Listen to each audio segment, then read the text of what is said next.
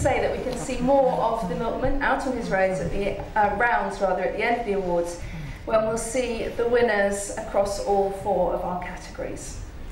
So next up, uh, it's animation. So time for our winner, and it's from the University of Salford.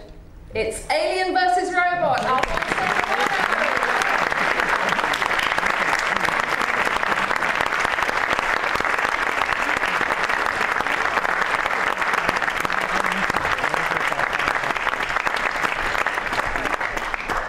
Do you know him, do you? Okay.